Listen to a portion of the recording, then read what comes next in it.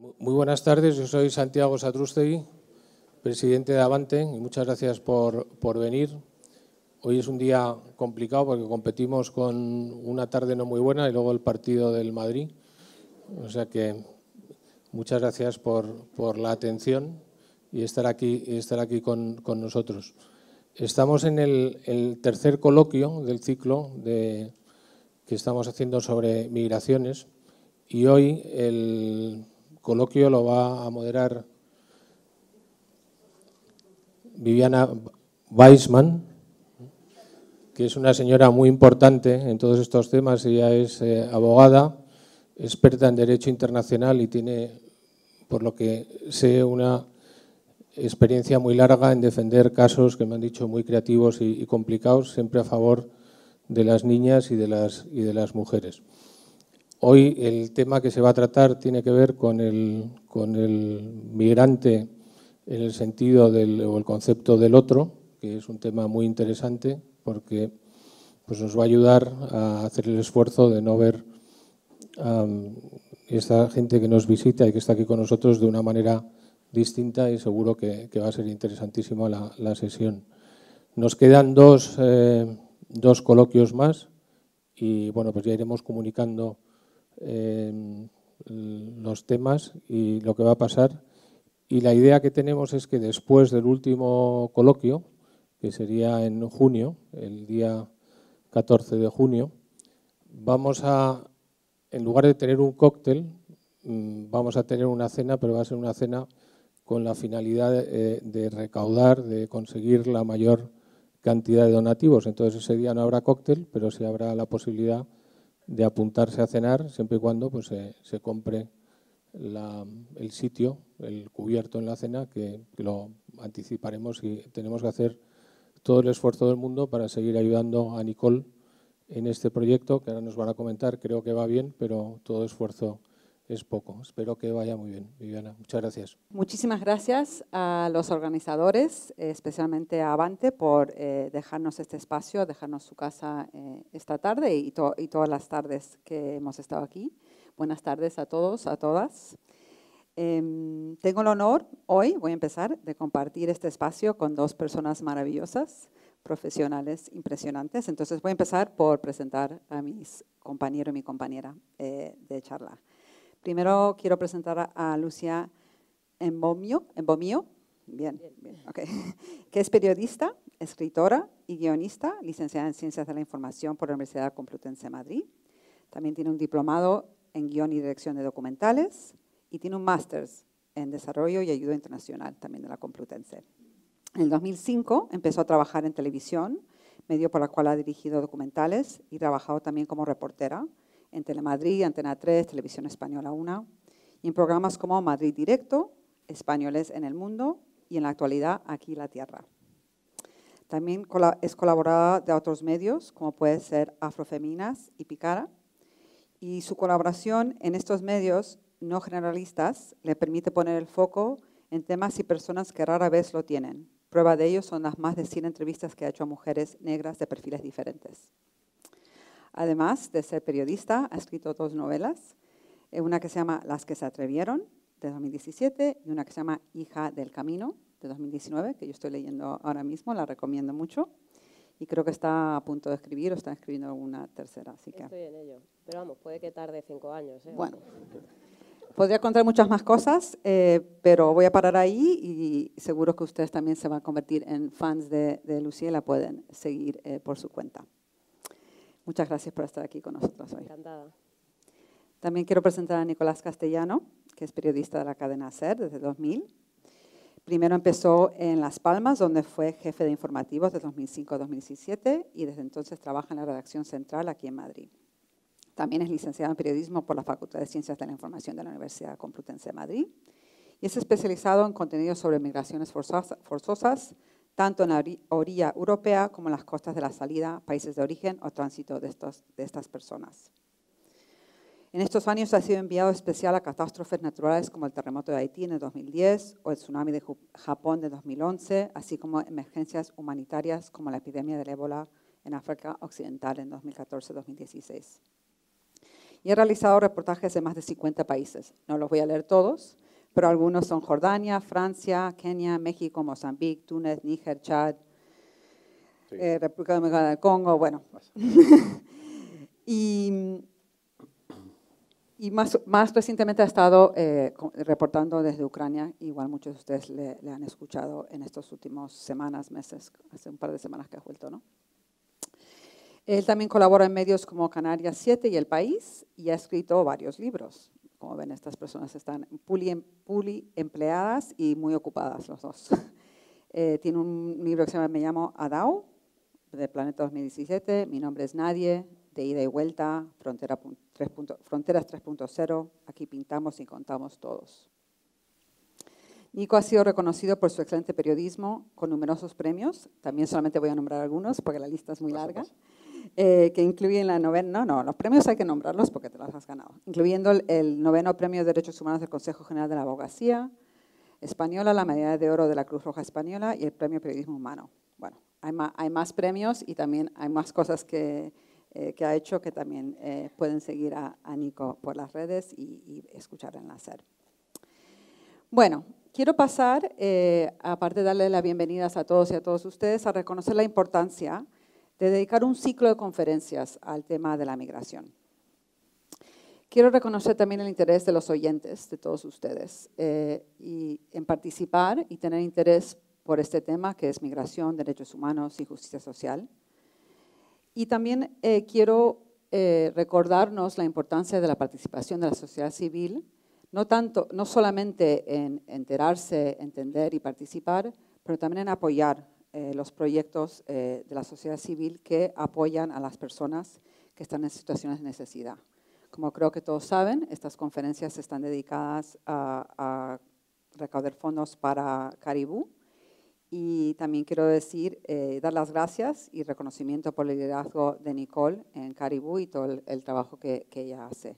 Hablaremos más hacia el final de la charla sobre esto, pero estas charlas, los donativos que se reciben van a estar dedicados a un proyecto que se llama Casa Vivi, que es un proyecto de atención multidisciplinaria a mujeres africanas mayores. Eh, si tienen más tiempo y más interés, después le pueden preguntar a, Nicole sobre el proyecto, pero em, les recomiendo a todos que, piensen en la contribución económica a los proyectos como una, parte, una manera de participar activamente en que vivamos en un, mundo más justo. Muchas veces nos, eh, nos sentimos muy impotentes ante las cosas que ocurren. Y muchas veces a lo largo de todos los años que yo llevo trabajando en temas de derechos humanos, la gente pregunta, ¿qué puedo hacer yo? Y unas cosas más importantes que cada persona puede hacer es contribuir económicamente a las asociaciones que dan ayuda y la contribución que cada, una, que cada uno y cada una pueda. Bueno, voy a empezar esto con un pequeño ejercicio tranquilos, no voy a pedirle a nadie que se suba al escenario con nosotros. Quiero que todo el mundo cierre los ojos un momentito, por favor, todos. Ustedes no. bueno, quiero que se imaginen una persona inmigrante. Registren la, la imagen. Ok, ya pueden abrir los ojos. Gracias. Bueno, esta charla se llama Migrantes, Refugiados el, discurso del otro. Se podría haber llamado también migrantes, refugiados, discriminación y el discurso del otro. Quiero hablar un momentito de por qué he elegido este nombre para esta charla. Hoy vamos a hablar con, con Lucía y con Nico sobre por qué y cómo se construye discurso, el discurso del otro, como lo llamo, y cuál es el papel de los medios de comunicación en este discurso.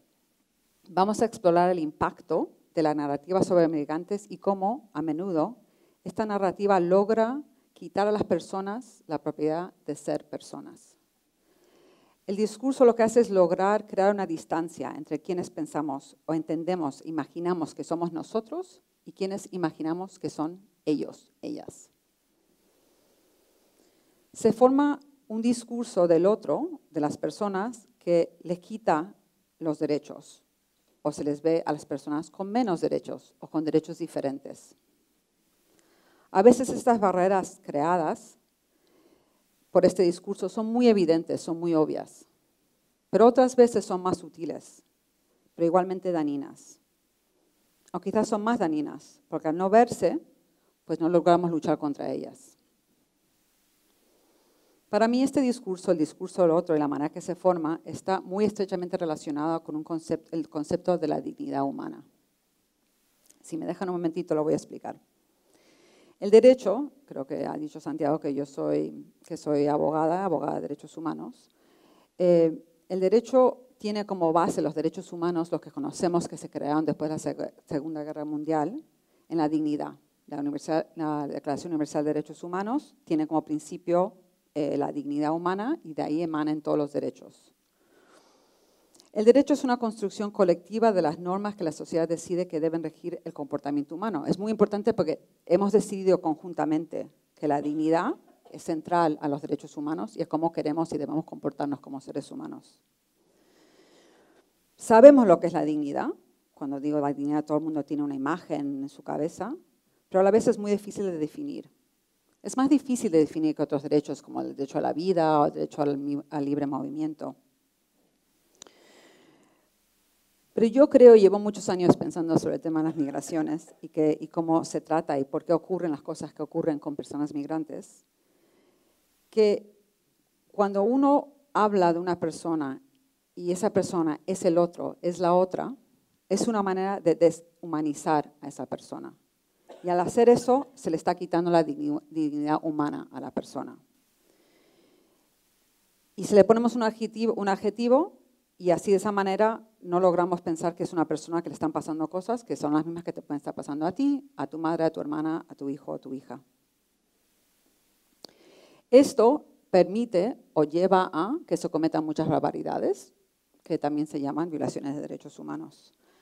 Desafortunadamente hay muchísimos ejemplos. Uno que me viene mucho a la mente cuando pienso en el tema de la dignidad y, el trato es lo que ocurrió durante la época de la administración de Trump. No sé si se acuerdan que había todo este movimiento que estaban separando a los niños y las niñas de sus padres y metían a los niños y las niñas en jaulas. Es decir, la deshumanización total y completa de los niños y las niñas que estaban intentando entrar a Estados Unidos. En España hay muchos ejemplos eh, voy a dejar que lo saquen eh, Nico y Lucía a lo largo de la conversación. Bueno, vamos a hablar del rol de las comunicaciones, cuáles son los estereotipos que se aplican, qué quiere decir cuando se usa un estereotipo que se convierte en prejuicio y discriminación. Y de todo eso vamos a hablar hoy y eh, espero que a ustedes les interese tanto el tema como me interesa a mí y tener esta oportunidad de estar con Nico y Lucía. Entonces quiero empezar haciendo una pregunta a Lucía. Em, en el imaginario colectivo en España, ¿a quién crees que se considera una persona migrante? Y como periodista, ¿cómo ves las descripciones que se hacen de las personas que migran, si son sesgadas o estereotipadas? Cuéntanos un poquito sobre eso. A ver, pues el punto de partida es que eh, ¿a quién se considera una persona migrante? A todas aquellas personas que no sean blancas, en general, ¿no? De hecho, a mí me siguen felicitando por lo bien que hablo español, que no tiene ningún mérito porque soy de Alcorcón. Pero, pero bueno, vaya, hago lo que puedo, ¿no?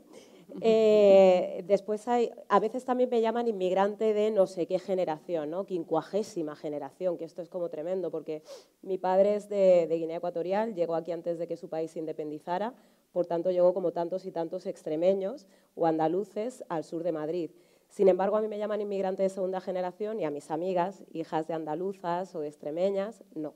Y hay que preguntarse por qué. Y eso también tiene mucho que ver con la amnesia colonial, y es una amnesia colonial inoculada. No es porque sí, ¿no? la gente no ha olvidado porque quiere. ¿no? El hecho de que Guinea Ecuatorial no aparezca en los libros de texto y que nos enseñan que las últimas colonias fueron Cuba, Puerto Rico, Filipinas y tengamos que remontarnos a 1898 no es un porque sí, la gente no es que no lo sepa porque quiere, sino porque no se enseña.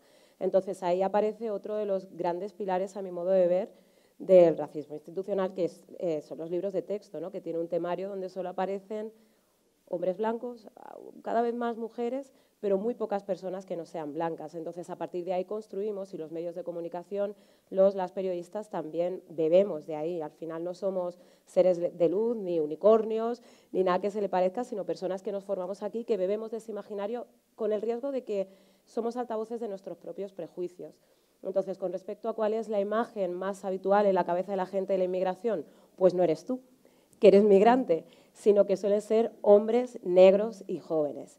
Y eso también responde a la sobrevisibilización del fenómeno, si queréis, de, la imagen de las personas que llegan a través del mar, de las pateras, siendo un porcentaje muy bajito de la gente que llega a España. ¿no? Yo, antes de la pandemia, porque es verdad que la pandemia altera mucho todo, porque cierran los aeropuertos y demás, entonces la gente no puede venir a través de esa vía, pero antes de la pandemia el principal contingente de población de África Negra estaba en el puesto número 30, muy por debajo de gente que viene de, pues eso, Reino Unido, Alemania, etcétera, etcétera, ¿no?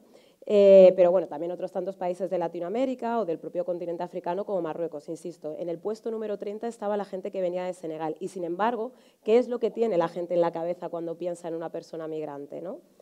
Y, bueno, esto también está asociado un poco al fenómeno que llaman inmigracionalismo, ¿no? Cómo inmigración se junta con sensacionalismo y este tipo de imágenes como que llaman mucho más la atención y precisamente por eso es en las que se insiste. Desde luego es verdad que son más llamativas que si pones una cámara en, barajas, ¿no? que es por donde suele llegar prácticamente el grueso de, la gente.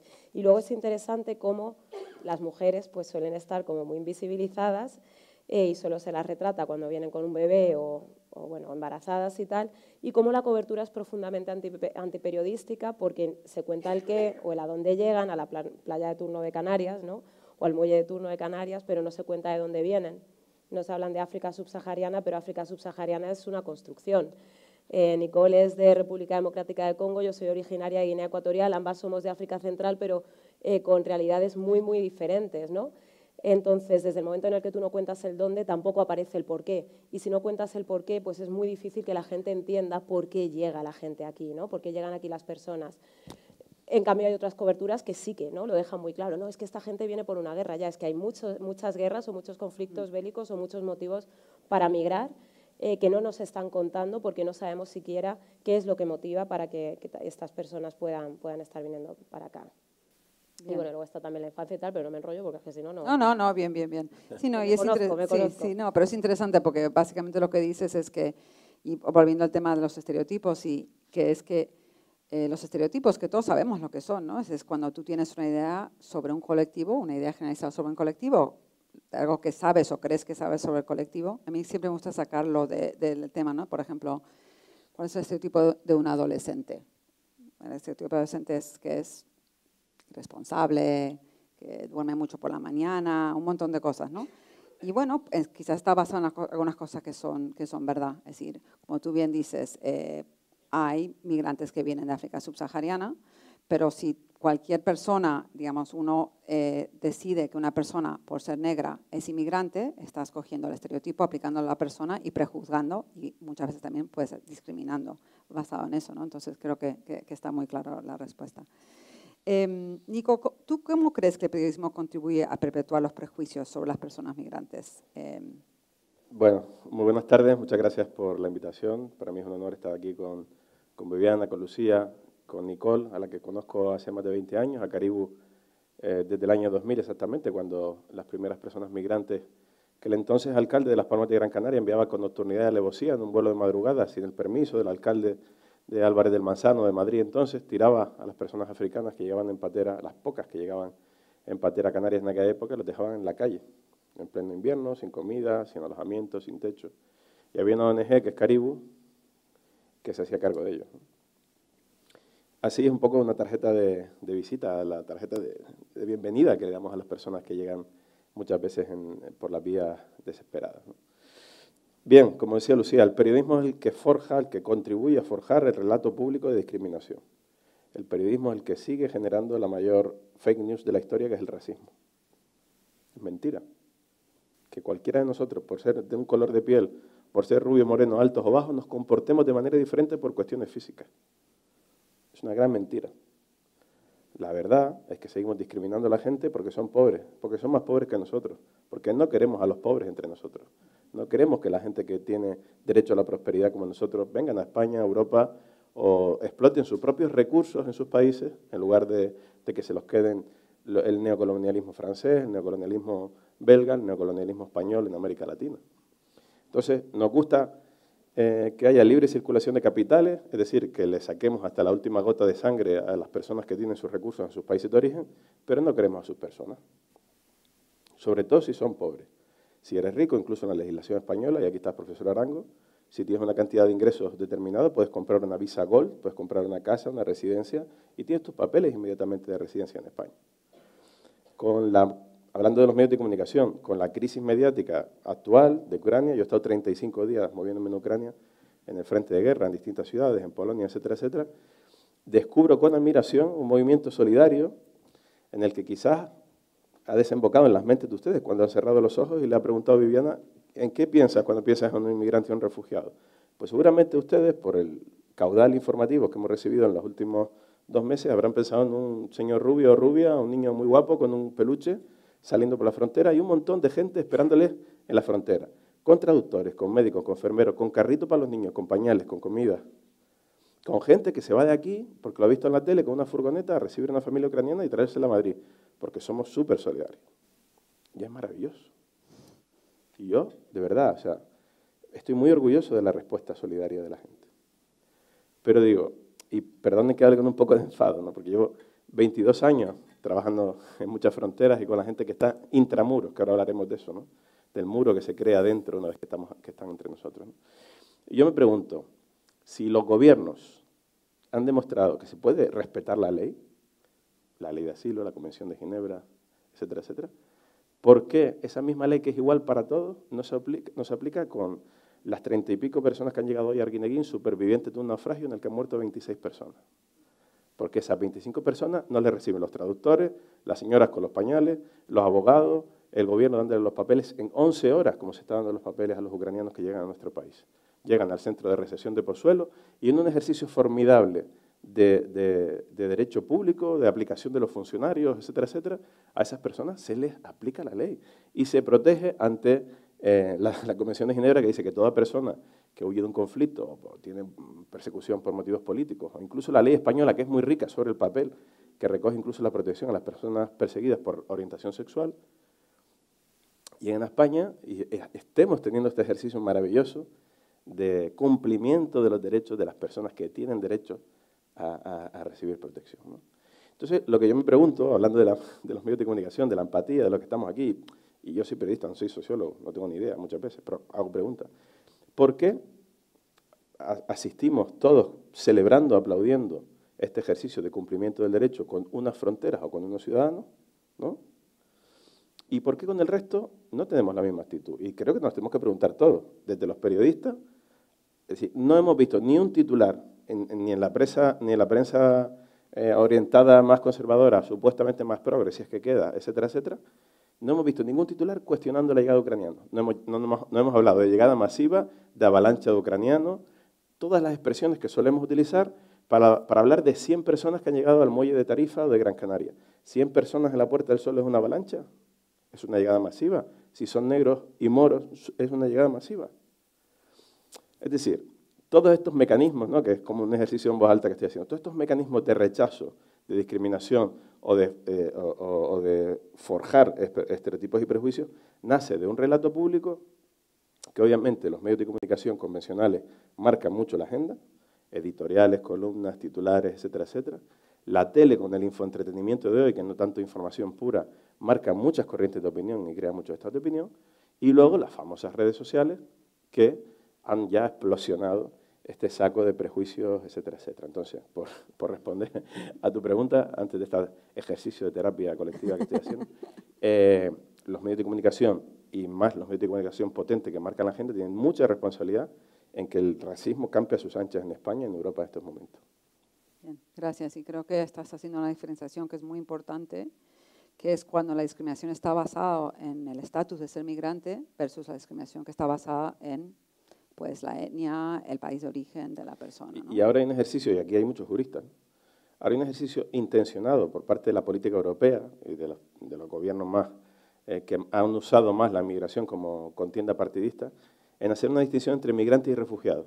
Eh, incluso categorizar a la persona que tiene derecho, lo dice el artículo 13 de la, de la Declaración Universal de los Derechos Humanos y lo dice el artículo 14, entre otros. Toda persona tiene derecho a establecerse en un lugar distinto al suyo de nacimiento o toda persona tiene derecho a ser protegida en base a bla, bla, bla. Sin embargo, eh, es esa tendencia política que culpa a los últimos en llegar a esta supuesta jaula dorada, que es Europa, que está en declive económico, en declive poblacional en declive creativo, en declive político, en declive de respeto a los derechos humanos, esto es Europa. Hay mucha más potencia en la juventud africana que en la época de las primaveras árabes hicieron más de 40 revueltas en 40 países y quitaron a sus dictadores, eh, democratizaron sus países, etcétera, etcétera. Nosotros aceptamos este sistema ultracapitalista que domina absolutamente todas nuestras decisiones, que aceptamos la desigualdad como receta normal. Yo tengo todo lo que tengo y el otro si no tiene, que se fastidie. En toda esta construcción de, los gobiernos eh, conservadores de Europa se ha forjado intencionadamente la idea de que los inmigrantes tienen menos derechos que un refugiado. que solo aquellos que tengan el tiro, tengan la herida o que vengan lisiados, está claro, esto sí, lo tenemos que aceptar en nuestro, en nuestro entorno. Pero si eres un chico de, Senegal que padece un 70% de desempleo juvenil, que resulta que quien está pescando en tu país son las empresas pesqueras españolas o chinas, que los recursos de frutos secos del sur de Senegal, de la Casamance, el, eh, los anacardos, etcétera, etcétera, no pueden ser exportados directamente, los mangos no pueden ser exportados directamente a la Unión Europea por nuestras normas fitosanitarias, van a Pakistán, van a otros sitios, las procesan y las importamos de otras empresas. Si tú no puedes trabajar en tu país, no puedes estudiar, las universidades no tienen inversión, etcétera, etcétera, resulta que tú tampoco tienes derecho, por esas políticas neocoloniales, no tienes derecho a venir a Europa a buscarte la vida, a estudiar, a pedir un visado. Porque ustedes creen que muchas veces se simplifica tanto esto que se hace creer que los inmigrantes vienen engañados por las mafias, ¿no? Las mafias que acaban con la vida de los inmigrantes.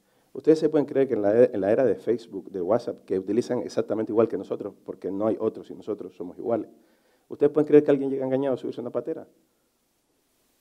¿Ustedes pueden creer que esas madres que han muerto en la patera de hoy no sabían que se subían a una patera con sus hijos? Pero es que no los dejamos venir de otra manera. Es mentira que haya vías legales y seguras. No hay visado. Yo les reto a venir conmigo o con Lucía a, Guinea o buscar un visado para venir a España o a Dakar o a Rabat, a ver quién lo consigue, qué perfiles. Entonces, bueno, a lo que voy, y, en ese sentido me he vuelto a meter en la distinción migrante-refugiado, porque hemos creado un neolenguaje ¿no? que, que genera esta discriminación. Por ejemplo, el concepto de muro se empieza a fortificar hace solo 35 años, que es cuando se empiezan a construir el muro famoso de Estados Unidos con México y las vallas de Ceuta Melilla, construidos prácticamente al mismo tiempo, por cierto. Dos laboratorios de violación de derechos humanos, donde se trituran los derechos humanos hoy en día en directo, construidos al mismo tiempo. Pero resulta que los medios de comunicación, o los políticos, o, o la clase dirigente, neodescubre, redescubre realidades de vez en cuando. ¿no? El año pasado murieron solo intentando llegar a Canarias 4.400 personas. No hay ninguna frontera en el mundo que mate más gente, cuyas leyes de extranjería y de asilo hagan que la gente muera más como las leyes de Europa, entre el Atlántico y el Mediterráneo. Pero es mucho más cool decir que Trump es malo. Es mucho más cool decir que Trump separaba a las madres y a los niños. En Arguineguín se separa a la madre y a los niños.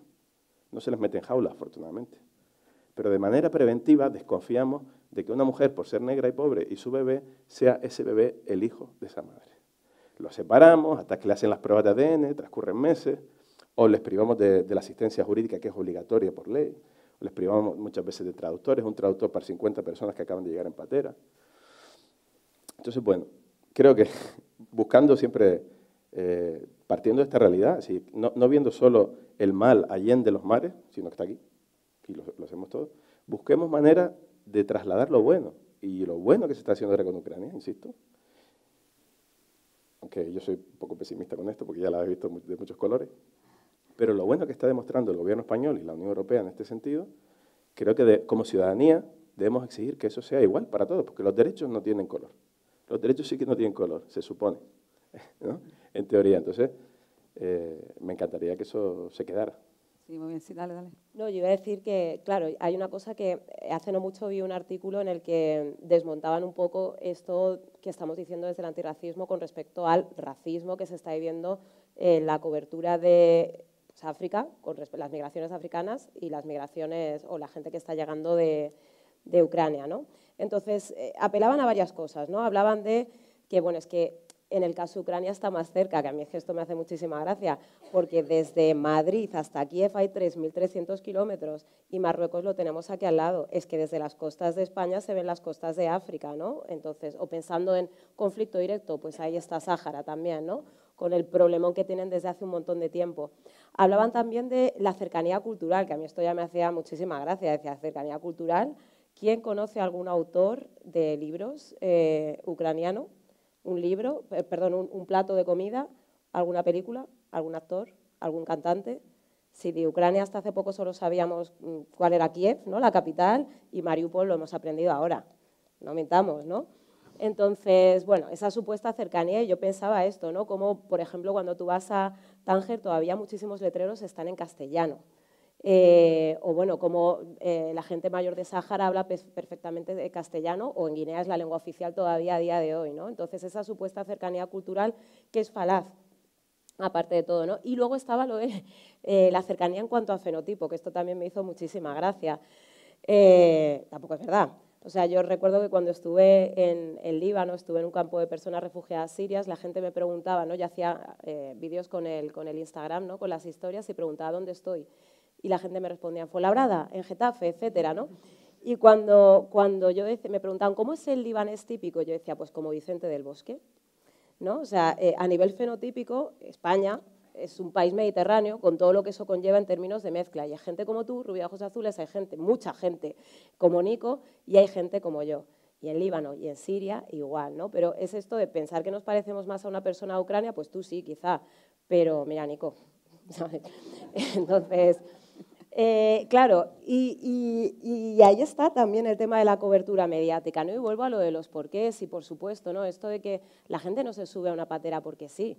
Eh, no les gusta arriesgar la vida, porque sí, tiene que ver con todos esos visados que nos está dando, pero aparte es esto, ¿no? Porque cuando, cuando, lo hemos, cuando lo estamos denunciando desde las redes sociales o desde artículos que hacemos y tal, ya bueno, pero es que esta gente está huyendo una guerra. Ah, bueno, es que hay otras muchas personas, hay un montón de conflictos que se dan en el continente africano, y hablo del continente africano por lo que, porque es lo que más eh, conozco, pero no solo un conflicto bélico es lo que motiva a alguien para migrar, ¿no? para tener que abandonar corriendo. El hecho de, que ser, una de ser una persona LGTBIQ en, determinadas, eh, en determinados países pues es un problema, pero también lo es, eh, pues, yo qué sé, es que ahora mismo estoy pensando en conflictos concretos, ¿no? como puede ser en el norte de Mali, en el norte de Camerún, en Nigeria, pero claro, luego hay otra cosa en la que tenemos mucho la culpa a los medios de comunicación, es cómo normalizamos lo atroz al final no hay eh, corresponsales en el continente africano, en el África Negra, no hay. Hay solo en Marruecos. Sí que EFE tiene una en Maputo, Nairobi, en Dakar. Pepe Naranjo. Eh, claro, sí, pero, pero bueno, que ni siquiera son personas contratadas, sino gente que de vez en cuando manda algo desde allí. Entonces, el grueso de la información que nos llega de África Negra viene a través de las ONGs y eso está vinculado con momentos concretos de crisis. No hay información con respecto a lo cotidiano y esto pasa también con las personas migrantes. No hay una narrativa de la cotidianidad, hay una eh, narrativa siempre de la crisis, ya sea. Estoy pensando, por ejemplo, en la población dominicana que lleva aquí muchísimo tiempo y lo único que sabemos ahora mismo de la población dominicana es que bandas latinas, ¿no? No sabemos absolutamente nada más. Bueno, pues pasa un poco lo mismo con el continente africano. No se habla de la creación, no se habla de la ciencia, de la tecnología, no se habla del arte, no se habla de, en fin, incluso de lo cotidiano. Solo nos llega la gran crisis, ¿no? Ahora de repente inundaciones en Mozambique y es narrativa de la ONG. Ahora nos llega, eh, pues esto, ¿no? Eh, ébola y es narrativa de ONG sobre todo, salvo que, bueno, en algún momento mandan también a corresponsales. Pero eso es lo que provoca que acabemos entendiendo que lo que pasa en el continente africano cuando es malo es natural y por tanto hay una especie de sedación grupal ¿no? Eh, o anestesia que provoca que ya no nos llama la atención, no nos subleve o no nos duela. Hay una imagen para mí tremenda que yo pienso que jamás debió haberse emitido, que es la de la mujer que acaba de perder a su bebé y está gritando My baby, my baby. Esto es como del año pasado en un, en un rescate en una patera. Esa imagen nos la pusieron a las 3 de la tarde mientras estábamos comiendo en el informativo. Una mujer a la que se le acaba de hundir su bebé. Y, bueno, y, seguimos comiendo. Nos puede dar pena, pero seguimos comiendo porque hay una normalización. De hecho, en, este sentido, recuerdo que Nico y yo una vez coincidimos en Canarias y, yo soy un poco crítica, bueno, soy muy crítica con, esta, con este tipo de imágenes, porque eh, la primera imagen de un cuerpo eh, muerto eh, que llegaba en patera, llega, o la tenemos, eh, creo que es de 1988, 34 años. 1 de noviembre del 88 en la playa de los Lances en Tarifa. Eso es, 34 años, 34 años ya y seguimos viendo lo mismo. ¿Y quién está convencido? Está convencido. y quién no, no, no. Porque yo recuerdo los comentarios que había con respecto a la madre esta que había perdido a su bebé y eran tremendos. No, era, eh, no eran, jolín, había gente que sí que decía pobrecilla y tal, pero muchos eran, nadie le dijo que viniera con su bebé, pues que no se suba una patera, es que toda África no cabe, ¿no? Un clásico, toda África no cabe, 100 personas, ¿no? Como has dicho antes, toda África no cabe. Entonces, no vamos, porque una de las cosas que se dice entre los medios de comunicación es, bueno, es que tenemos que concienciar. ¿De verdad que todavía tenemos que seguir concienciándonos? O a lo mejor hay que buscar otros modos. ¿No? Porque es obvio que seguimos sin entender un montón de cosas y repito, los porqués todavía no nos los han contado.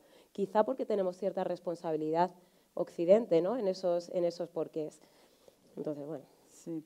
Sí, y vamos que vamos pasaremos un poquito a, qué es lo que se podría hacer diferente, pero un poco uniendo algunas cosas que los dos están diciendo, es decir, el, el entender o por lo menos preguntarse el por qué las personas migran. Eh, también y muy relacionado con esta, esta, esto que, está, que ocurre hace mucho tiempo y creo que falta entendimiento sobre, se pone el refugiado como el bueno, el que merece estar, eh, y el migrante es todo el otro, todas las otras. Y me parece importante hablar de esto un poquito porque especialmente la gente que no estudia derecho, pues mm, a veces se mezcla, ¿no? Migrante, refugiado, y dice, bueno, estos son refugiados porque vienen de una guerra, ¿no? Y de verdad, la realidad es que conseguir el estatus de refugiado, que, es, que está, eh, es una cosa que está en la ley, que viene de la, Convención de Ginebra, como ha explicado Nico, es muy complicado. Muy pocas personas tienen derecho al asilo. Bueno, muchas tienen, personas tienen derecho al asilo, muy pocas personas lo consiguen, ¿no? Entonces, el probar, es decir, requiere tener un abogado, pasar por todo un sistema, digamos, es, es un sistema muy complicado. Y también en la sociedad muy lentamente se va aceptando las persecuciones por cosas menos, conocidas o menos visibles, como puede ser las personas que huyen por orientación sexual, identidad sexual, eh, mujeres que son víctimas de trata, eh, por la pobreza extrema, no cabe dentro de eh, lo que es un refugiado. Mm, se hablaba el otro día todos los refugiados que hay por los, por los cambios climáticos. Pues eso no existe dentro de la Convención de Ginebra y, y cuenta por la mayor movimiento de personas en el mundo. Y luego también creo que hay una cosa que no se sabe, que es que la mayor eh, recepción de personas refugiadas en el mundo pues, ocurre pues, en Uganda, eh, no, no en Europa, en Colombia, eh, antes en Venezuela. ¿no? Entonces se habla como la masiva llegada de, de los refugiados, cuando la realidad es que se da el estatus de refugiado a muy pocas personas eh, y se hace una diferenciación como tú sí vales, tú tienes el derecho a, y tú no vales, no tienes el derecho a. ¿no? Y el extremo de eso es cuando ya una persona pasa de ser no solamente un migrante que no tiene documentación, pero ya se llama llamar a la persona ilegal. ¿no? Y todos sabemos el efecto que tiene, una persona no puede ser ilegal, eh, pero el efecto que tiene en, la psicología de las personas eh, que escuchan esto y una otra vez y va ahondando en la otra, la otra persona, el otro. Esto no, esto, yo no soy ilegal, eso le pasa a la otra persona. ¿no? Em, entonces, quiero como retomar un poco este, esta idea de, de, cuáles son las cosas que, que, que, ustedes ven que ocurren en los medios, las que son un poquito más obvias y las que son menos obvias, ¿no? Eh, de cómo se habla de la migración y cómo se hace esta distinción. Eh, y ustedes tienen, por ejemplo, los ejemplos que da Nico de la separación de, de los niños y las niñas en Women's Inc. Eh, hemos llevado un par de casos de mujeres separadas de sus niños. Eh, un caso hace muchos años, ¿te acuerdas? Que tuvieron a la, a la, niña separada tanto tiempo que se olvidó francés y no podía hablar con su madre. Eh, y está todo basado en los estereotipos de quién puede ser una madre, quién puede ser una buena madre y qué es lo que por, y, y la, el entendimiento de lo que quiere decir eso, ¿no? Entonces, em, me gustaría que hablen un poco de, cuáles son las imágenes o lo que ustedes piensan que puede ocurrir diferente de lo que está, lo que está ocurriendo y lo que ustedes intentan hacer eh, con los temas cuando se, cuando se puede. Em, para ambos la pregunta, quien quiera contestarlo antes. Bueno, no sé, yo veo aquí gente, como digo, profesor Arango y otra gente que controla muchísimo más que nosotros sobre, sobre cómo sería la radiografía de las personas en movimiento en el planeta, incluso en España. Pero para los que no tengan las cifras tan claras, voy a recordar un par de datos. En el mundo hay en torno a 240, 250 millones de personas con la etiqueta de migrante. ¿no? Es una persona que está en un país diferente al suyo de nacimiento. Eh, de esos 250 millones de personas, aproximadamente 5 millones están en España. Eso supone ahora mismo en torno al 11,5% de la población aproximadamente. De esos 5 millones de personas que están instaladas en España con la etiqueta de migrante, resulta que, otro estereotipo que la gente no suele tener en cuenta, más de 3 millones y medio son del régimen comunitario, si son europeos. ¿vale? Son gente que viene de, Francia, del Reino Unido, de Italia, que es la nacionalidad que más ha crecido en España en los últimos tiempos, junto con los venezolanos, antes de la crisis ucraniana, etcétera, etcétera. ¿no? Entonces, si empezamos a desmenuzar los datos, realmente nos damos cuenta que extracomunitarios, que es a lo que en realidad los medios llaman a los extranjeros, porque al alemán no se le llama inmigrante. En mi tierra, que soy de un sitio donde, donde ponemos a los turistas, los plantamos en la playa, le damos cerveza, los regamos, les sacamos el dinero y los mandamos de vuelta, eh, nunca jamás he escuchado la palabra inmigrante para los señores rubios que vienen a gastarse los cuartos allí. Nunca. Pero una vez que es un marroquí, una vez que es una persona de Colombia, de Ecuador, que viene a instalarse en Canarias a trabajar o a estudiar o lo que sea, siempre etiqueta. ¿no? Bueno, pues la etiqueta de extranjero, de inmigrante, pues si la reducimos, estamos hablando más o menos de un millón y medio, un millón setecientas mil personas ahora mismo en España. De verdad, estos son los culpables de nuestros problemas de mala administración pública, de corrupción en los partidos políticos, de tener los salarios más bajos de Europa, de tener el mercado laboral más desastroso de Europa. ¿Son estos los que han llegado aquí en los últimos tiempos, los que acaban de llegar a Tarifa o como algunos partidos dicen, si ponemos el muro y no llegan, se acaban los problemas de España. Somos estúpidos, somos infantiles, nos vamos a tragar el fast food ideológico que explica todos los problemas de nuestra sociedad, autorizando, echándole la culpa a los otros, como han hecho los totalitarismos durante toda la vida. Porque este, este truco de que la culpa es del de fuera ya no lo sabemos, ¿no? Y cómo ha acabado durante eh, todos los episodios de la historia. Sin embargo, hoy no lo comemos, ¿no? Y ahí voy un poco a, la explicación. Por dar otro dato antes de, soltar mi crítica. En el mundo hay 70 millones de personas consideradas refugiados o desplazados forzosos. De esos 70 millones, poco más de 20 millones en realidad son refugiados. ¿Vale? Están en otro país y tienen protección. Imagínense, de 7 mil millones de personas que hay en este planeta, poco más de 20 millones son refugiados. Algo funciona mal, porque si te pones a calcular el número de, de conflictos y las razones que tiene la gente para huir, no estamos respetando el derecho al asilo, no lo estamos respetando en base a este porcentaje. De esa realidad resulta que aquellos que llegan a España a pedir asilo somos el país de la OCDE que menos asilo concede. Y a mí alguien me lo tiene que explicar siendo frontera sur de Europa y siendo el principal aeropuerto de entrada de un montón de gente de Centroamérica que viene con la mochila cargada de argumentos para pedir asilo. Cuando la por buscar momentos mediáticos y momentos de comportamiento político o de la sociedad.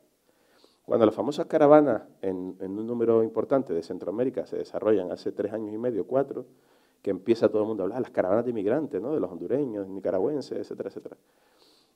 Resulta que llegaron muchos más centroamericanos a España a pedir asilo en avión y estaban haciendo cola durante horas en la lucha para que le dieran una cita para pedir asilo y pidiendo el derecho al defensor del pueblo. Había muchos más centroamericanos que los centroamericanos que llegaron con las caravanas a Estados Unidos. Sin embargo, ustedes cuando les pregunto de, las caravanas de inmigrantes, nunca imaginarían que estaban los centroamericanos pidiendo aquí asilo. Y esta es una realidad. Y esa es una foto ¿no? de, cómo, de cómo los medios, vamos todos para allá, los enviados espaciales, y estamos aquí con fulanita que está haciendo el viaje con su hija. Y yo recuerdo, este momento a mí me duele como periodista, en alguna de estas entrevistas, alguno de los directores de los programas, no voy a citar a nadie, que escuchaba, entrevistaba a fulanita de Honduras, le decía, suerte, suerte, que te vaya muy bien, porque hablaba su idioma porque empatizaba directamente con los motivos que llevaba esa señora a salir de su país y llegar a Estados Unidos a pedir asilo, pero yo nunca jamás, de todas las entrevistas que he hecho, he escuchado a esos mismos directores de programa desearle suerte a Mohamed, o desearle suerte a Diallo, o desearle suerte a Minata. Algo no está funcionando bien en la cadena de, primero, de transmisión de la, comunicación o de, o de las empatías. Otro momento gráfico, la muerte de Alan Kurdi, el niño que apareció en la playa de, Turquía cuando intentaba tratar de llegar con su padre, con su hermano, etcétera, etcétera, a las costas de, Grecia, ¿no? la crisis de los refugiados de 2015. Llevan 20 años recibiendo patera en las costas griegas, igual que en las costas españolas, igual que en Sicilia, etcétera. Muere Alan Kurdi y se genera un fenómeno en Europa parecido al efecto, yo creo que va a ser, como dice Luis García Montero, de nuevo la piedad efervescente, la piedad líquida. Esto de los ucranianos se nos va a pasar en tres días, lo siento, pincharles el globo. Entonces, cuando se pinche el globo, vamos a ver que la Angela Merkel de turno, que fue la única que tuvo un plan inteligente y que tiene a los mejores médicos, a los mejores ingenieros y a toda la, alta eh, cualificación de Siria trabajando ya en, Alemania porque necesitan esa mano de obra, Sí, es usar y tirar a la gente. Utilitarismo, llamémoslo como quiera. Pero esa señora tuvo un plan alemán, matemático, de utilizar eh, a esta gente y hay mucha gente sirios que les van bien en, en, Alemania y conozco gente de Afganistán y de Siria que lleva años pidiendo el asilo, no se lo han dado, en Alemania también. En Alemania también se, se violan los derechos humanos. ¿no? Y resulta que lo que surgió en España en aquel momento fue el Ayuntamiento de Madrid, bienvenido refugiado, welcome refugee, eh, llamaban a Cruz Roja, yo, yo quiero, pero quiero sirios, quiero ayudar, pero quiero que mi dinero vaya a los sirios, como pasa ahora. Ahora se están vaciando recursos de atención de, ayuda humanitaria para aumentar las plazas para los ucranianos. Y muchos de los que llevan ahí, que llevan tiempo, malienses, etcétera, etcétera, a ver si nos buscamos la vida porque tengo que hacer hueco a los ucranianos.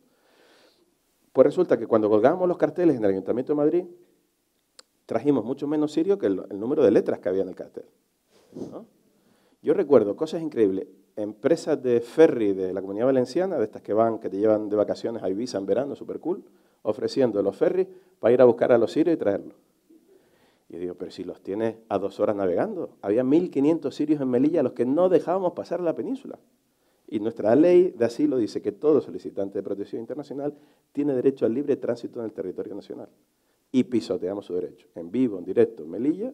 Pero chicos, nos ponen la foto de Alan Kurdi, a Angela Merkel por allí, y, unas imágenes de, los sirios vestidos como nosotros, a través de los fenotipos y la caspa eh, racista y nos volvemos solidarios con los sirios de repente. Yo les invito a que vayan hoy a Moria conmigo, bueno, Moria 2, que es el campo de tiro, antiguo campo de tiro, de prácticas de tiro, que está al lado de Caretepe, a las afueras de, Mitilene, de la capital de Lesbos, y verán allí que quedan 8.000 sirios y afganos a los que no les respondemos a su petición de asilo. Sin embargo, hace unos meses, en agosto, vimos un ejercicio a través de aplicación del derecho y de, la empatía que fue la bienvenida a los afganos en el aeropuerto. De repente en agosto todos éramos pro-Afganistán y llevan 25 años matando a los afganos y saliendo de Afganistán. Y yo conozco muchos afganos que han llegado a Grecia, que siguen ahí y no se les responde la petición de asilo. Entonces, los medios tenemos culpa, bueno, culpa, o tenemos responsabilidad, me gusta más, la culpa me, me suena un concepto casposo. Tenemos responsabilidad en la creación del imaginario público, del relato público, que crea efervescencia y no crea un pensamiento consolidado sobre el respeto a los derechos. Porque yo ya no veo a fulanito que está aquí o de allá. Yo veo a una persona, como tú decías, que no tiene eh, acceso al derecho a la alimentación, no tiene acceso al derecho a la vivienda, no tiene acceso al derecho a, la protección internacional.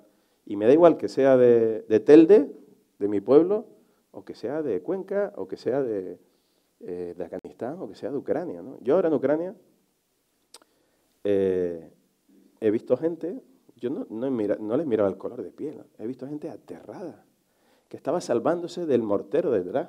Que me recuerdo el caso de una madre de Emma y Julia, un bebé que venía en los brazos de un, militar, que luego se hizo famoso, pues fue la portada de la revista Time, y la madre venía llorando desesperada detrás porque el padre había desaparecido mientras cruzaban el puente de Irpin, caían morteros a saco y misiles, la gente, eh, bueno, a las pocas horas murió una familia, recordarán con las sábanas tapadas al lado del monumento de la Segunda Guerra Mundial, etcétera, etcétera. Yo ahí no veo una nacionalidad. Yo ahí no veo jodido pasaporte, perdónenme la palabra. Ahí yo no veo una víctima de Putin, que claro que es muy malo y todos pensamos que es muy malo. Y es un invasor y está eh, eh, provocando esto que está provocando en Ucrania. Yo veo una persona que tiene miedo, y con la que yo empatizo, a la que me gustaría ayudar, con a la que debería, de, la que debería contar su historia. Entonces, ¿por qué algo que está a 14 kilómetros de Tarifa no, no, lo vemos igual? ¿Por qué? Y ahora voy al último dato, que yo, sé que soy un poco pesado con los datos. Lo siento. ¿Por qué de esas 5 millones de personas que no nacieron en España y están aquí, más X, que no sabemos exactamente cuántos, pongamos 2 millones, se han nacionalizado por la gran llegada de inmigrantes del 95 al 2005 a España, que fue cuando España realmente se convirtió en un país con ciertas características multiétnicas o, de, diversidad cultural, esas personas que ya están aquí, muchas veces lo seguimos otrorizando hasta el fin de los días. Hay un término que ha utilizado Lucía y yo lo dejo ya, ya que se meta en el, en el, lío. Una cosa súper racista desde mi punto de vista, me dirán ustedes que no. En Francia puede ser de novena generación o sea, puede ser que ya no te acuerdes del árbol genealógico que tu familia tuvo relación con las colonias de Argelia, pero siempre vas a ser Lucía de origen argelino. Y esto siempre, yo voy mucho a Francia y hago muchos reportajes allí. Y en España ahora está de moda esto. ¿no? los inmigrantes de segunda generación, los inmigrantes de tercera generación. Pues Lucía Alcorcón, colega, ¿sabes? Y tiene, tiene unos parámetros de comportamiento, una, una, una riqueza, porque además bebe de, de, otros elementos que le han enriquecido su personalidad, etcétera, etcétera, su riqueza cultural. Y, por ejemplo, ¿cuántos, por romper el, la, la, imagen solo periodística, cuántas de las personas que, que no se llaman José, José Antonio o Miguel o Manuel, ¿no? se llaman de otras maneras, están en las tertulias de la tele, aunque sean nacidos en España. Profesores universitarios extranjeros o de origen extranjero hay en España, muchísimos. Escritores, muchísimos. Pintores, muchísimos. ¿Dónde están? En, en, en, la creación de relato público, en esas famosas tertulias pesadísimas que hay en todos lados, etcétera, etcétera. ¿no? O en los foros culturales. ¿no? Ahora, por ejemplo, hemos tenido que crear, o, o estamos alojando el hacer, un, un, podcast sobre los negros españoles. Mm. O sea, que a esta altura de la película la gente se sorprenda por el, X número de, españoles negros que hay, o moritos como yo. Es decir, yo, por ejemplo, para que se hagan una idea, yo cuando llegué a estudiar a Madrid en el 95, eh, lo primero que me dijo el taxista cuando me subí al taxi, le dije a Canilleja, yo sé que está cerca de Baraja, una putada, ganan poco dinero. Dice, joder, todos los putos moros van al mismo sitio. Así me recibió Madrid cuando vine a estudiar en el 95. Me voy a abrir una cuenta eh, eh, en el Caja Madrid al lado de la Facultad de Periodismo. Buenos días, venía a abrir una cuenta. Necesitan los papeles de residencia. Digo, ¿de dónde? Narnia. Necesitan los papeles. Digo, que soy de Telde, de Canarias, mi niña. Otro día, voy a comer a la facultad de odontología, digo, por poner cosas del racismo cotidiano, cuando éramos cuatro gatos, los que éramos un poco más tiznados. Voy a comer a la facultad y grita la de la caja, no, eso no lo puedes comer. Eh, macarrones con boloñesa, es que tiene carne de cerdo. En, fin, to, pero toda esta construcción, y, y, le estoy poniendo un poco de humor porque si no me cabreo y soy muy crítico, toda esta construcción de patrones de alejamiento, ¿no? que son los muros mentales, las barreras mentales que vamos, que vamos creando, emanan de los medios de comunicación, de las redes sociales, de nuestros primos hermanos, del, taxista al que, al que, le permitimos el chiste racista, del camarero que nos promea. Y todos nosotros tenemos hoy una facilidad que ninguna generación ha tenido a lo largo de la historia. Tenemos un, un telefonito donde podemos comprobar si aquel discurso de odio, esa mentira que los inmigrantes nos roban, que tienen más acceso a los derechos públicos, que copan todas las plazas de la guardería de los pueblos, etcétera, etcétera, podemos comprobar en un segundo de nuestro tiempo si eso es verdad o no. Pero elegimos creernos nuestros prejuicios. Como en la guerra de Ucrania.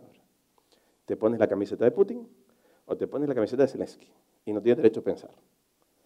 Entonces resulta que, como tú eres pro Putin o crees que, que Occidente, Estados Unidos, está montando todo esto para que Putin sea el malo, crees que los, que los muertos de Busha y de Irpin son mentiras. Y claro, uno llega de allí y viene aquí y te, y te dan ganas de estrangular a media humanidad.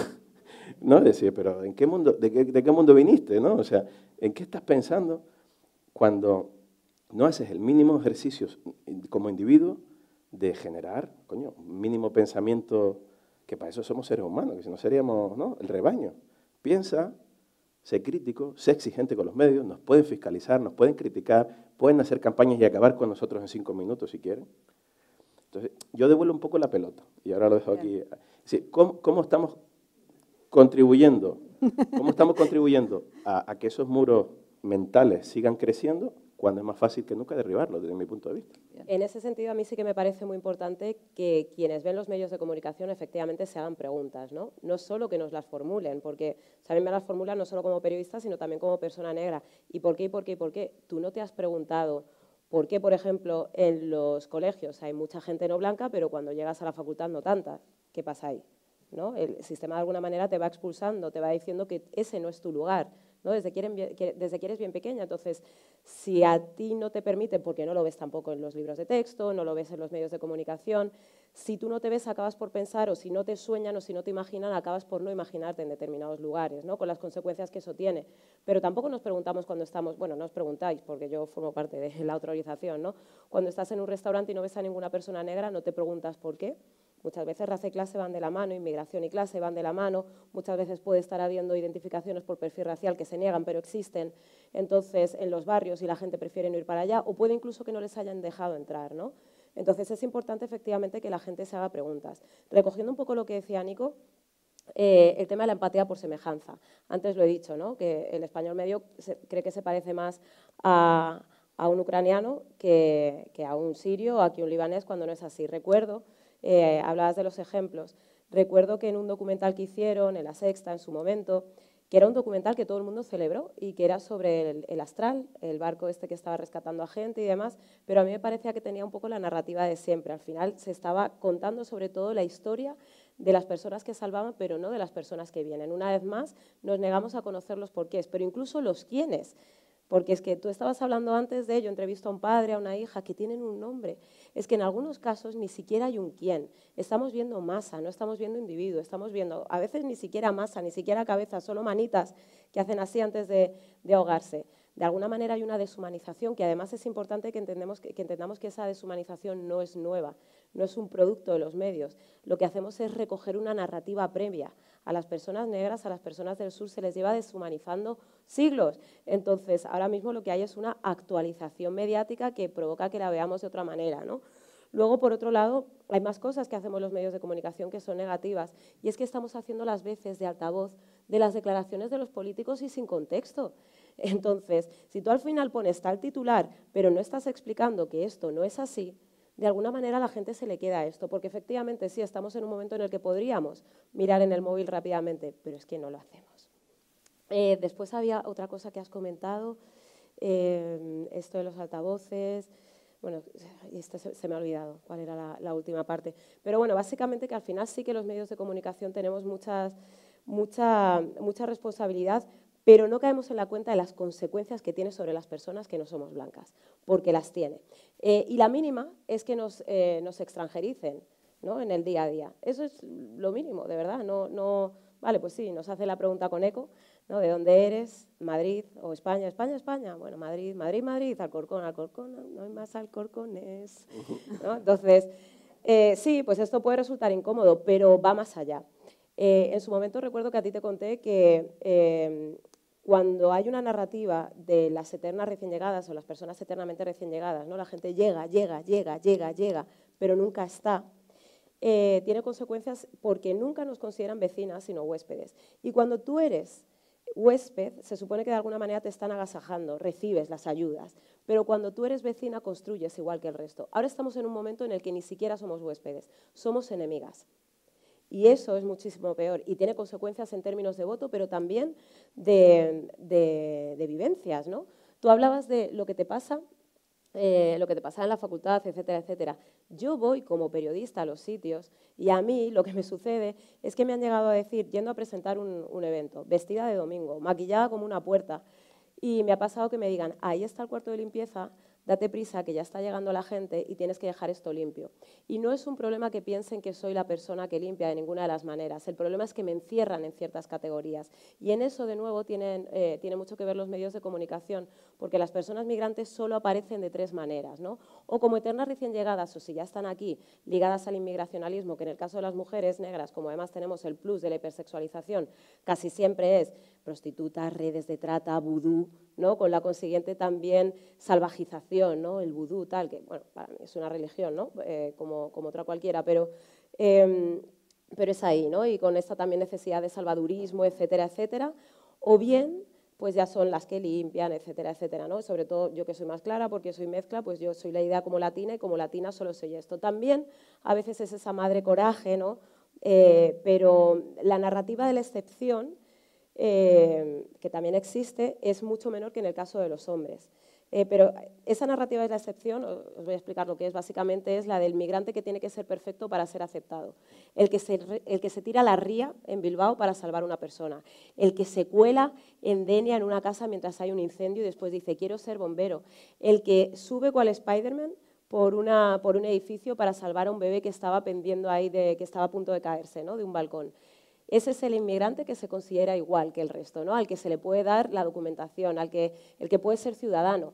Esto es tremendo, porque al final lo que te están diciendo de alguna manera es esto, que tienes que ser un superhéroe para ser un normal, que es como, es como super heavy. En el caso de las mujeres negras hay una narrativa de la excepción heroica infinitamente menor. ¿no? Las mujeres no salvan. Eh, pero como decía antes, ni siquiera hay una narrativa de, lo cotidiano. Hay alguna, ¿no? Aquí, por ejemplo, a Ismail, que es la que está luchando contra la mutilación genital femenina, pero falta, falta que, seamos fuente de información para cualquier otra cosa, que es que lo echamos muchísimo de menos. O sea, eh, a mí me preguntan sobre racismo y sobre inmigración y soy periodista, yo qué sé, con españoles en el mundo me he recorrido un montón de países y nunca me preguntan por eso. Nunca me preguntan como votante.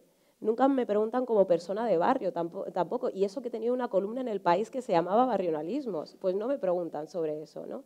Entonces, eh, eso de alguna manera también está mermando la capacidad de que podamos ver a las personas que están en esta España, que no solo tiene un credo, que no solo tiene eh, una raza, un color, eh, que no solo tiene una edad, que no solo tiene bla, bla, bla, bla, bla, ¿no? que es como muy diversa, pero que al final nos encierren en algunas categorías y que solo sirvamos para eso. De hecho, o sea, yo, para mí, por ejemplo, es súper importante hacer endo y exocomunicación. Cuando yo hago esas entrevistas, que la verdad yo creo que ya son 200, 300 mujeres negras a las que he entrevistado, em, eso lo hago en, medios propios, medios que, puede leer cualquier persona, pero lo hacía más en Afroféminas o en medios ¿no? de la comunidad, como puede ser también Negres Magazine. ¿Por qué? Porque a mí no me parece interesante contar, mira, una negra médica, porque al final es como que estamos marcianizándonos. Esto lo hago en medios propios para quienes crecen pensando que no existen esos referentes, cuando por supuesto que existen y siempre han existido, pero no se han visibilizado, para que recuerden que sí que pueden llegar hasta allí, que va a ser súper complicado, que van a tener trillones de trabas, pero que es posible, ¿no? Pero luego yo creo que hay una narrativa exo, ¿no? Eh, hacia afuera, que es la que, pues si estás haciendo un reportaje, en mi caso, que hago un montón de reportajes de agricultores, ganaderos, pues que sean agricultoras y ganaderas y no necesariamente preguntar, oh, eres ganadera y eres mujer, sí, hija, como mi abuela, mi bisabuela, mi tatarabuela, porque en el campo siempre ha habido, ¿no? Y yo creo que esa narrativa de la normalidad es muchísimo más transformadora y desde luego infinitamente más necesaria, porque yo muchas veces lo comento, hablando de anécdotas, es que si me pongo farruca, soy castellana vieja, oiga, que por otro lado, si no lo fuera, ¿qué? ¿no? Pero es que es verdad, desde 1778 hasta 1968 mi familia por imposición colonial es española y por parte de madre soy segoviana. ¿no? Entonces, por favor, dejen de felicitarme por hablar castellano, por favor, ¿no? Pero, pero aparte, sí, me acuerdo lo que, iba a, lo, que, lo que iba a decir antes. Hay otra tercera pata, que es lo de las redacciones. ¿Cómo es posible que las redacciones sean todavía tan blancas? Y cómo cuando, cuando contratan a gente, y voy a poner otra anécdota también, recuerdo una vez que me llamaron, se había ido la reportera negra que había en España directo. Entonces me llamaron para el casting. La reportera se llamaba Esther. Me llamaban todo el rato Esther en la, en la entrevista. Entonces ahí te, te, das cuenta de que están jugando un poco al parchís, ¿no? Me falta la ficha amarilla o la azul o la verde, tengo que sustituirla. Pero no va de eso, porque no tiene que ver con los cuerpos. Es importante que estén los cuerpos, por una cuestión de que la gente se pueda identificar, pero no basta con los cuerpos, hay que tener en cuenta las miradas y los puntos de vista, porque si no estamos haciendo lo mismo todo el rato. Y en ese sentido, y ya, y ya paro, voy a poner un ejemplo, y esto no tiene que ver con la raza, sino con el dónde vivo, ¿no? La primera vez que fui a hacer un, reportaje a un poblado chabolista, que en los 2000 se llevaba un montón, te mandaban ahí al poblado, ah, traes un reportaje ya, pero de que tú traes un reportaje, métete ahí a ver qué están cocinando, ¿no? Como muy de pornomiseria y tal. Em, recuerdo que al volver me dijeron, ¿has pasado miedo? Y yo dije, ¿miedo? Porque o sea, había población gitana, no solo, pero había población gitana. A mí un gitano no me da miedo, hola, porque me tiene que dar miedo. Em, y en todo caso, pues me puede sublevar, ¿no? Estar en un sitio que hay un abandono, institucional pues muy potente que provoca que la gente viva como viva. Entonces dije, no, no he pasado miedo. Y la respuesta fue, ah, claro, es que eres de Alcorcón. Y pensé, ¿pero qué os quieres que es Alcorcón? O sea, que, claro, ¿no? Alcorcón, ciudad de Dios. O sea, eh, pues, pues, mira, no, no he pasado frío. Y entonces, perdón, no he pasado miedo. Entonces ahí pensé, ¿quiénes somos las personas que estamos contando en los medios de comunicación? ¿No? ¿Y desde dónde miramos? Porque creo que miramos por encima del hombro y no a los ojos. Y ese es uno de los, de los, grandes problemas. ¿no? Es que hay gente que tiene mucha centritis desde un punto de vista literal y figurado. Hay gente que nunca ha abandonado, que nunca ha superado la M30, que piensa que al otro lado hay monstruos de dos cabezas, ¿no? como Finisterre, es la Edad Media. Entonces, eso es lo que provoca que no sepamos lo que está sucediendo y somos periodistas. Entonces, muchas veces no vamos a contar qué pasa, sino que vamos a contar lo que pensamos que pasa y a partir de ahí no transformamos absolutamente nada. ¿no? Y el último ejemplo, hace no mucho, bueno, ya creo que han pasado como cinco años, otra vez cuando, como vamos por modas, ¿no? los menos, los menos, todo el mundo venga a hablar de menores no acompañados y además como sinónimo de, de criminal, las bandas latinas, que esto se lleva mucho en Madrid, pues ahora de, nuevo estamos ahí. Pero hace como cinco años también eh, hubo una temporada en la que se estuvo hablando bastante. Y recuerdo que en equipo de investigación, ¿no? que además, claro, es un programa de fantasía. Yo muerdo la mano que me da de comer, como pueden ver, porque trabajo en la tele. Pero bueno, el rollo es que em, llevaron a un experto en bandas latinas, que yo no sabía que eso existía ni siquiera. No, o sea, vuelvo a lo mismo, el tema de las fuentes. No llamas a un dominicano para hablar del tema, no llamas a un ni siquiera a un educador social. Llamas a un experto en bandas latinas, un señor con traje y con maletín, para ir a interpretar lo que llamaban son símbolos, ¿no? Como ahora a lo mejor son símbolos en clave, ¿no? Y en realidad lo que ponía es, pues, como, es como si tú llamas símbolos en clave como si fuera Altamira, las cuevas de Altamira, ¿no? En un, como si tú vas a un baño, de, un, de cualquier baño público y ves las pintadas y lo llamas símbolos en clave, ¿no? Mire usted, de gente que está pintando, ¿no? Entonces ponía KLK Manín. Cualquier persona que conozca a gente dominicana sabe que qué Manín, es que se está riendo porque se la sabe, qué lo que Manín es, ¿cómo estás, brother? ¿Cómo estás, hermano? Bueno, pues el experto de maletín dijo, aquí pone kill Latin King. Manín, kill Latin King, o sea, mata a un Latin King, Manín. Manín debe ser el nombre de la persona a la que quieren matar. Entonces yo pensaba, Primero que el experto no es experto, ¿no? Es como el que, ¿os acordáis del, del, entierro de Nelson Mandela, que había un intérprete de lenguaje de signos que estaba ahí haciendo ahí en plan que parecía lo comía, ¿no? Pues esto, exactamente lo mismo. Este es como el intérprete de Mandela, que o sea que era mentira, no sabía absolutamente nada. Pero no se le ocurrió a nadie contar con un dominicano como fuente, porque los dominicanos solo son, en todo caso, gente de la que se habla, ¿no? Pero jamás gente que puede hablar, no tiene voz. Por otro lado, eh, cómo estás contando mm, eh, eh, frases, ¿no? Y además que es que la, propia grafía era como súper infantil, ¿no? Que se veía que era de gente jovencita. Em, la música que pones, el tiempo que le dedicas a ciertas noticias, las noticias que no das y las noticias que cuentas cortito, ¿no? Todo eso a mí me está dando un montón de información, pero además, ¿quién trabaja en, ese programa que ni el editor se dio cuenta, ni el cámara, ni la reportera, ni la coordinadora, ni ninguna de las personas que trabajan en esa redacción? ¿Por qué? Porque falta gente no solo no blanca, sino de otras culturas que pueda enriquecer. Y ahí es cuando voy con lo de la mirada. Yo no quiero un anuncio de Benetton porque me parece una chorrada, porque entonces para eso tenemos los desfiles de moda, ¿no? Yo lo que quiero es que se incorpore una mirada que además enriquecería y mucho las redacciones. Y todavía estamos esperando. Bien. Bueno. en eh, YouTube, ¿eh? por favor, mírenlo, que lo que manín, es que se van a Vamos a buscarlo, vamos a buscarlo. Em, se nos está acabando el tiempo. Eh, yo les quiero dar las gracias, especialmente por contar, contar las historias desde el yo. Yo sé que eso no es fácil, entonces quiero dar las gracias por eso y, y, por, y por, todo lo que han venido a, contarnos. Yo he aprendido muchísimo, espero que todos ustedes también. Eh, quiero dejarnos con dos pensamientos de las cosas que ustedes están diciendo. Uno es, eh, estás hablando de que se necesita otras miradas en la, en la redacción y yo creo que tiene mucho que ver con el entendimiento de que es, es momento de reencuadrar la migración ¿no? y también contar lo positivo de que personas vengan de otros lugares, porque es todas vivamos en, en unas eh, culturas más ricas. ¿no? Y se nos olvida eso cuando hablamos de la inmigración, la gente en movimiento, y creo que, hace mucha falta, no solamente en el periodismo, pero como para pensar la, eh, migración y los movimientos migrantes desde otra, perspectiva. Y luego quiero eh, cerrar con, con, otra cosa que los dos lo están diciendo mucho, es una invitación, de verdad, a, todos, a todas, que es que hemos hablado aquí cuál es el rol de, los medios de comunicación y yo me voy con eh, cuál es mi responsabilidad.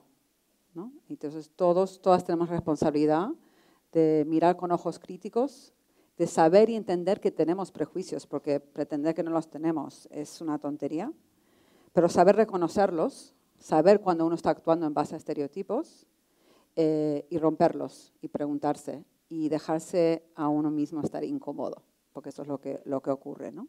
Y, y es más fácil decirlo que hacerlo. Em, muchas gracias a todos y lo último que quiero decir, perdón, no sé si realmente va a ser lo último antes que salgamos, hace mucho calor en esta habitación, ¿no? Yo tengo muchísimo calor.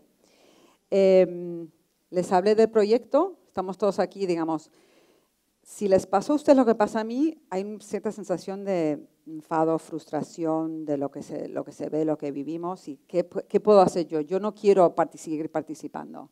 Les doy una cosa muy concreta que les invito a todos que lo hagan hoy mismo, que es contribuir al proyecto Casa Vivi de, de Caribú. Es la razón que estamos todos aquí. Se puede dar a muchísimas cosas. Estamos todos aquí porque nos interesa mucho este tema, entonces les invito a todos desde la capacidad que tengan de contribuir. Eh, me cuentan los organizadores que estaban intentando recaudar 30.000 eh, euros para este proyecto y estamos en 11.000. Entonces yo creo que conjuntamente eh, se puede conseguir llegar a esa cantidad de dinero y de esa manera participar y seguir preguntándonos el porqué de las cosas. Muchísimas gracias. Gracias por la invitación.